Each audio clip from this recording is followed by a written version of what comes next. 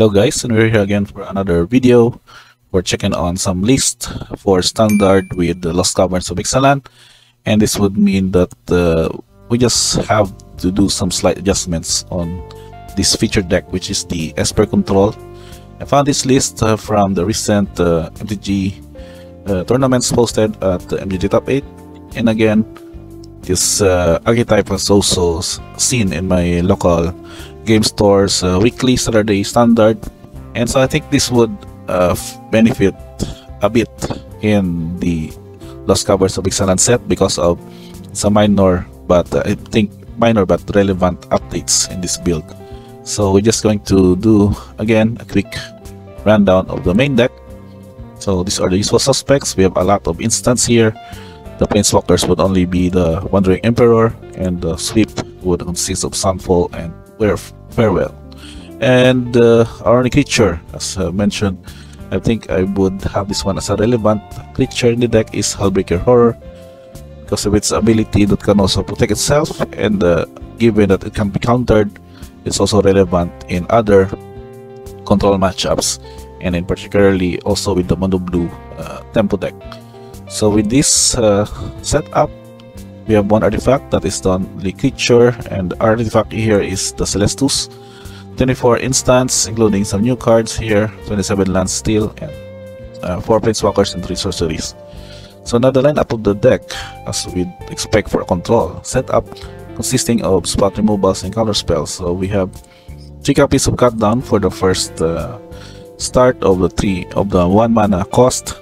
We also added 2 copies of syncopate as a good counterspell early on or in also in the late game given that you would have a lot of lands to do for the paying for the X as you can have your opponent cannot pay for that mana so it would also exile that uh, spell countered we also have 3 copies of Essence Scatter so this is one of the solid counter spells as we would still expect a lot of uh, creatures in this metagame past the Lost Caverns of Ixalan we have the new card Get Lost, that is two copies. This would also have to be a spot removal for white, which can also deal with uh, not only creature but also enchantment and planeswalker.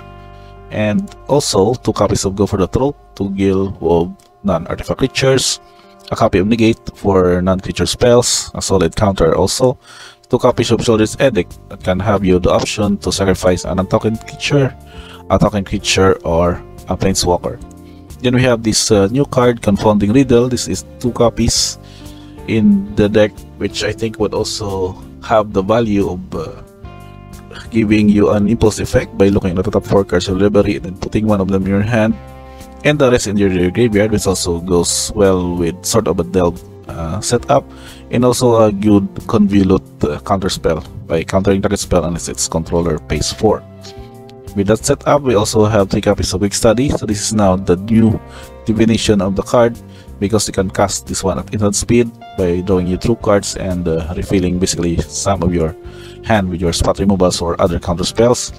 Then we have of course the generic 4 copies of Memory Deluge because of its ability that it can look for the top 4 cards because of the mana spent but the good thing in the late game is that you can flashback this one for 7 by basically looking at the top seven cards of library and then choosing two of them in your hand as your uh, relevant card draw if needed. And for the Planeswalker, this is the Wandering Emperor as your good setup in this deck because its ability that can have uh, uh, various uh, kinds of uh, support even that you are a control deck, you can flash this in to exile a target tap creature and also gain 2 life which is relevant in the aggro matchup. You can also create two two white samurai creature tokens that can also become your army against uh, mid-range and other control. And just the bonus is that you can just put up some counter if any combat tricks you that you want to give your target creature first strike into some counter. So that with the setup, your sorcery sweep are still given with the sunfall because you can exile extra creatures and create your incubate X where the incubators that you can pay to to flip this one into a creature Phyrexian and the number of X would depend on the number of uh, creatures that was exiled and also for any reset button if needed against maybe for other matchups that could involve artifacts, enchantments, and graveyards you can use uh, farewell to deal with that one. And that uh, setup uh, before we go for the lands is to check on why Celestus is included here and still a relevant card in this deck uh, uh, list for main uh, having you to option to uh, draw a card and uh, gain line one life. Because of you can just pay three tap to have a night becomes day and it becomes night. But the only drawbacks that you can activate only is a sorcery. But uh, as you activate this one or have this one triggers you can gain one life and draw a card and discard a card.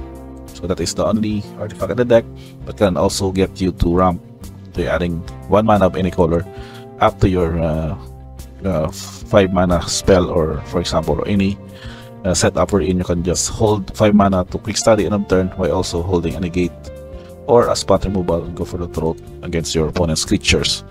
Now for the lands, I uh, really want to highlight here the new card that was added in the deck in the form of this new uh, manlands.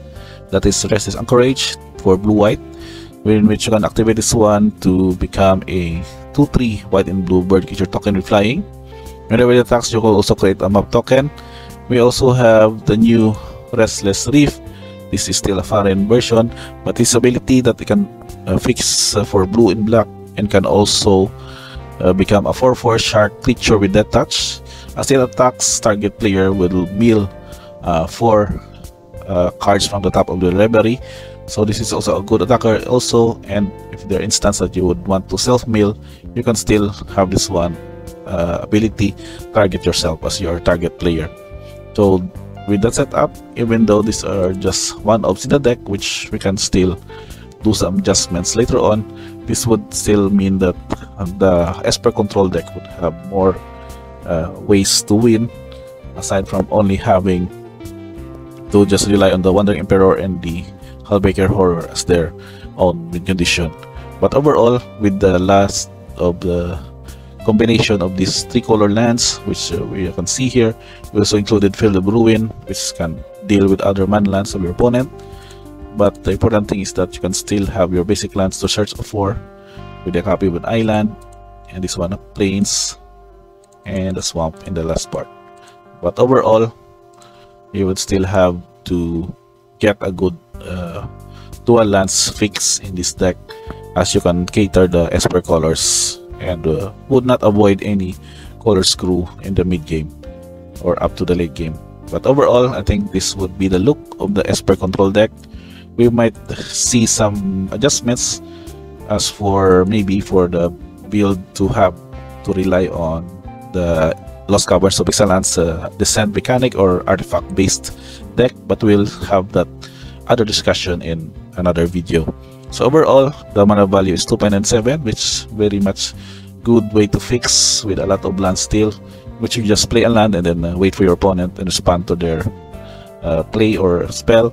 The core distribution is pretty much even with uh, 18 for blue, 17 for black and white but the blue pips are mostly the highest 21 with the white is 16 and black is 7 and these are the tokens I mentioned these are the samurai tokens from the Wonder Emperor, Patient Might from the Murex, and also Incubator token from Sunfall, which can turn into a Phyrexian that is equal to the exiled creatures or its power and toughness. So I guess that's pretty much it for this deck, Esper Control. Set up for Lost Caverns of Ixalan Standard. If you're yet familiar with this or have played this one in the current uh, format, just let me know comments below so we can have another discussion as to what your experience of this deck and what would be your suggestions for these new cards that we have included in this uh, deck tech uh, video. Again guys, thank you for checking this one. Don't forget to like, subscribe, and see you on the next video.